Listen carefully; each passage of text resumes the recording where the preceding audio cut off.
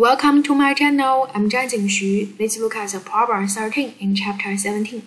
Chapter 17 is about temperature, thermal, thermal expansion, and also the ideal gas law. For these problems, we can see mm, there we have a very smart technologies to make it a very good fit for the rivet and the hole, right? You can see at room temperature 20 degree, the diameters for our rivet is L naught. The diameter for the hole is L, this one. So we want to put this uh, orange part into this uh, blue part. It looks impossible, right? Because this is larger than this one. So we have a technology. We can make the rivet cool down, cool down. When it is cool, the diameter will decrease.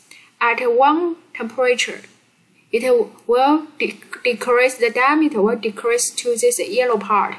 And the yellow part and the blue part at the same size. So we can put this yellow part, yellow part, this yellow size in with the blue size then it perfectly fit, right? And then when the temperature increases, this yellow part will expand, but then it hold by this blue part, so this is a perfect fit. Now this is our technology. How can we do that? We can see we need to find the temperature. We need to cool this rivet to this yellow part. Agree? And we can see um, for this linear thermal expansion, we have the equation look like this one.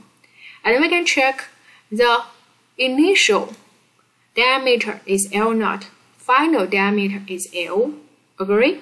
So the delta L is L minus L naught. And alpha is come from materials. You can check your textbook, get it there. And also for the rivet, the temperature changes is the final temperature minus initial temperature. Initial temperature is T naught. Agree? So this function can be write as this one. Now we input known quantities. You can see L, L naught is given, alpha is given, L naught is given, T naught is given. The only unknown is T. And we can find after calculation, T is just around negative 70 degree right?